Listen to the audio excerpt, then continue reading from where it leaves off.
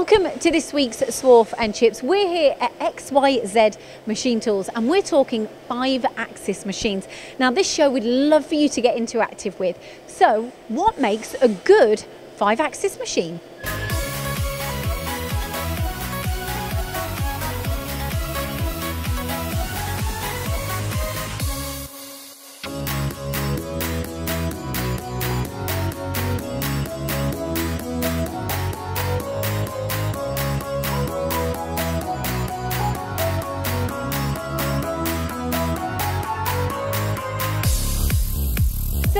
Are we going to begin then, Paul? Okay, so we've got two machines behind us here at XYZ. We've got the UMC 4 Plus 1 and the UMC 5X. 5X. Now, for those that don't know, and this is a, an education for them about 5 axis, the difference, the fundamental difference between a 4 Plus 1 and a 5 is, is this is a more positional machine Yeah. uh, as opposed to a full 5 axis simultaneous machine, which might machine, for example, an impeller or a Yes. turbine blade, where all axes are moving at once. Okay, and how are you going to break this down for everybody who's watching? Okay, so we're going to do this in four areas. Firstly, we're going to look at the construction of a five axis machine and we're going to look Yep. at how XYZ have tackled this.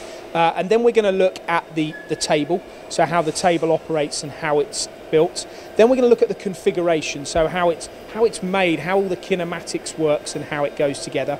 And then the final one, which is where people do get the choice, is the options that can go on them. And throughout the whole show, please put your comments below as to whether you agree with what Paul says You or might not. You might might not. not. That's true. And also whether you have had literal, you know, experience with these machines and your preferences too. So we love to hear from you. So where are we going to begin? So we're going to start with the construction.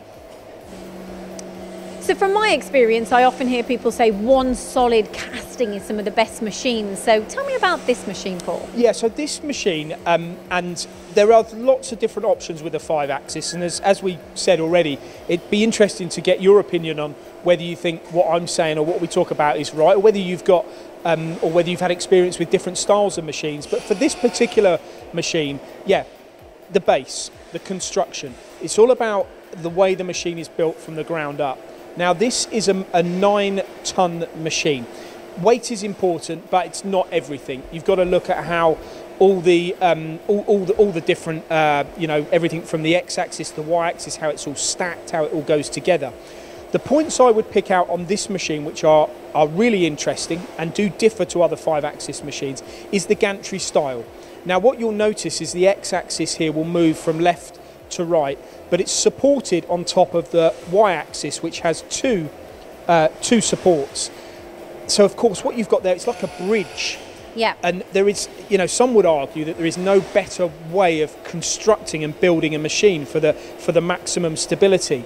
What it also means, and, and this is where it becomes uh, very evident as to the differences, is that as this y-axis comes forward, when it's right at the end of its axis stroke here, you've got the same support as what you've got as when it's its All the way extreme end. across. So it, it does. So it means that wherever this spindle positions to machine, maybe on the extremities of the table or right in the middle of the table, the security of the machining process is identical throughout. Hmm. So that is very, very important with the construction, the distribution of the axis weight, really. A lot of the time when we talk about the XYZ UMC range, the first word that comes out of everybody's mind or mouth is rigidity. Yeah, and I think that's really important. And I think when they spec this machine and brought it out a few years ago, they were aiming it at a marketplace that was going to be able to really uh, have have you know excellent machining results across all material um, uh,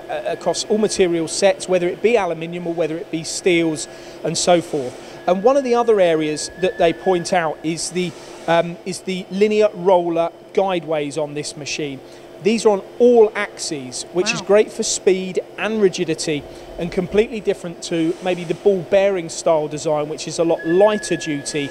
And I would argue as well that potentially you've got a better, longer life strategy using that type of mechanism as well. So there's lots of lots of ways of looking at how a five-axis machine's built, and we'll come on to the table next. But as it is for the frame, that is what I would suggest is you know one of the reasons that these machines are popular. Okay, so we'd love to hear from you. Please write down below in your comments. Is weight something that you look at when you're purchasing a machine? Is it the rigidity? Is it the way that the machine is set up? Please comment below. Now, talking about rigidity, I know another thing is the table and how rigid this table is that stands out from the crowd. Yeah. Now, the, what, what, what I like about this as well, and and we're sort of we're crossing boundaries here as we go through the four different sections. But the way this table is can uh, or is, is, is, put together here is you've got a support on the left and, and on the, the right. right. Now, some machines, some five-axis machines, they they hang essentially, and you don't have the support on one end, or you have it one end, you don't have it the other. Or less support on one end than the other. Absolutely. Now, it would say to me, gravity or, or, or common science, however you want to describe it, would say to me that having uh, both sides supported has to be mechanically stronger you, you, would imagine.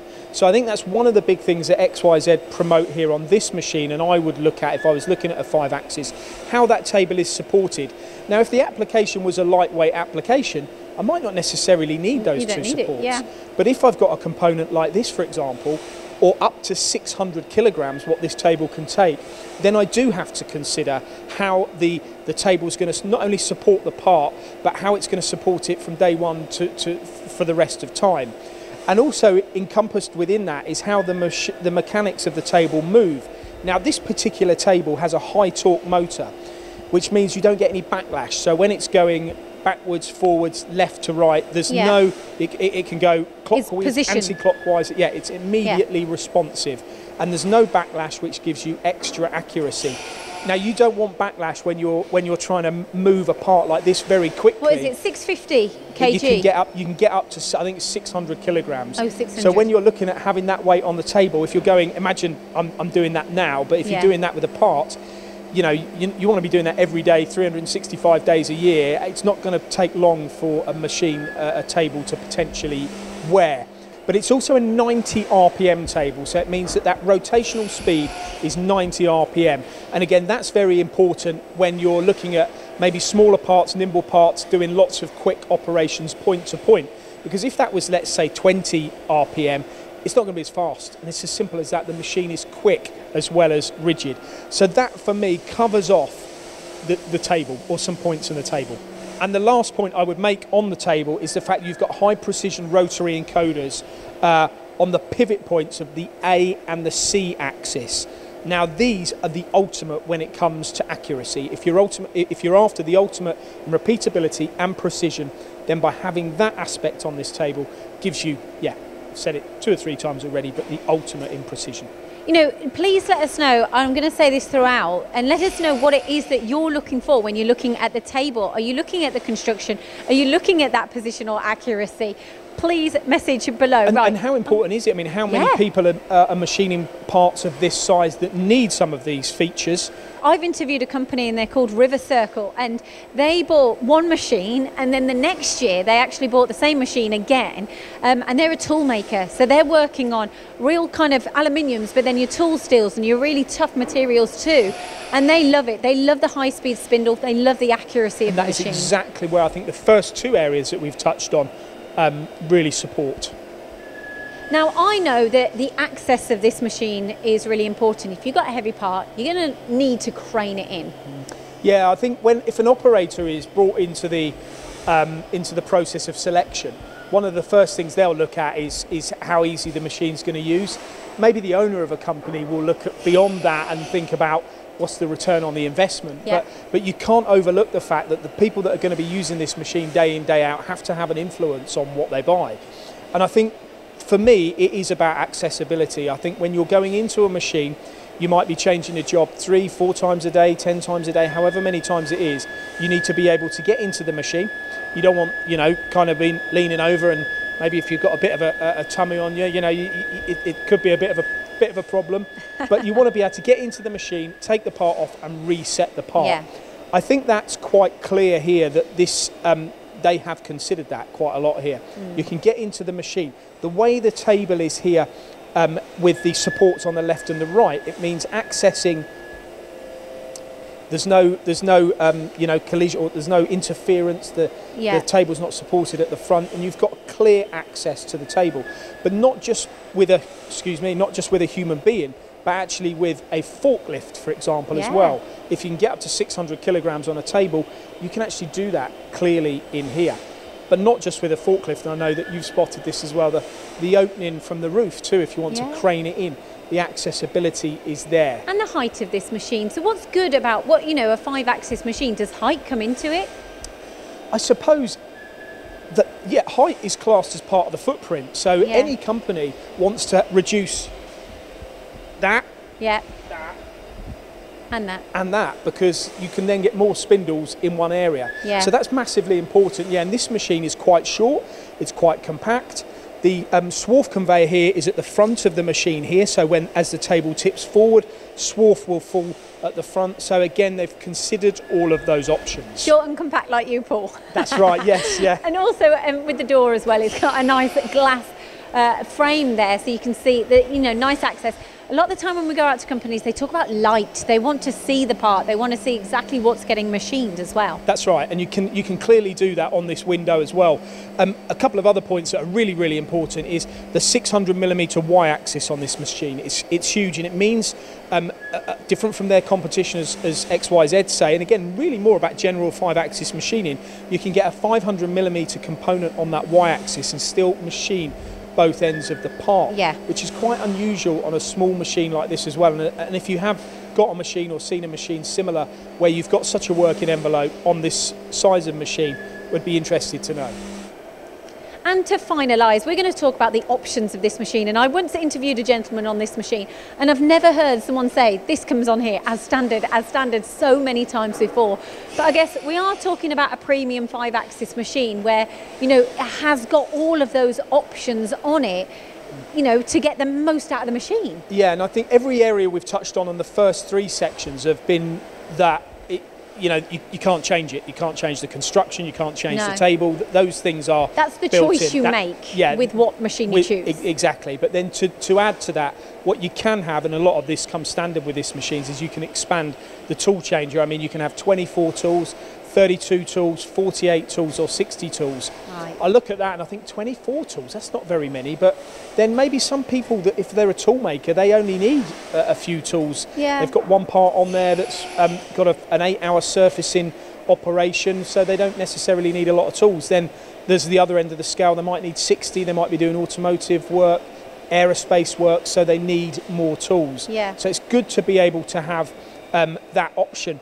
Uh, there's also the spindle on these machines 12k, 15k, 18k, or 24k. So high speed tool making, you want high speed, high speed surfacing. Um, work like we're doing here, you'd want a high speed spindle, but then you might choose or you might need something that's lower in speed but higher in torque. So there's some of the options as well, as well as through spindle coolant, 20 bar, 70 bar, linear scales. This machine comes as standard with linear scales on them as well, really to complement every other area that we're talking about when it comes to maintaining accuracy. So you can have all of those optional extras on there. More and more probing, um, the option between either the Siemens or the Heidenhain control, and again, those choices are really then laid out for people to spec for the machine, whatever, whatever really works Yeah. for them. Yeah. You know, it, it, it really depends. Okay, I'm going to quiz you. Slightly controversial for yourself then. From five down to one, what would you go for as the most important thing you would consider when purchasing a five axis machine? Okay, let's see whether people agree with this. Maybe they can put their uh, top five down. First thing would be how it's constructed. I think you have to look at how the machine is built, the things we spoke about today. Why is that important? Because you want a machine that's going to last, and the better it's built, the longer it's going to last. Normally, shorter, compact things last longer than taller and non-compact things. So that would be the first thing, the construction. The second thing I think would be, for me, um, would be the accessibility, getting into the machine, how easy it is for the operator to actually use and get to grips with and set parts up and all of that. The all of that day-to-day side of day-to-day machine. stuff. Then it becomes down to application. For me, if I was doing heavier parts, um, I wanted more robust machining. I would probably select a table that was that was supported uh, both sides potentially. If I wanted high-speed dynamics, I might go for a knuckle table. That, that that's an option too. Um, I think I would, in answer to your question, third would be that. Fourth would, would be the control maybe, because if I'm used to Siemens, I would want that, or maybe I want to try a Heidenhain. Um, and fifth would have to come down to the supplier that's supplying it to walk me through the journey of buying it, supporting it. If there's a problem, they're going to solve it, um, and application support. Right, well done. Thank you for watching this week's Swarf and Chip show and please do get in touch and put some of your comments and views below. Don't forget to like, comment and subscribe and as we always say, keep those spindles turning.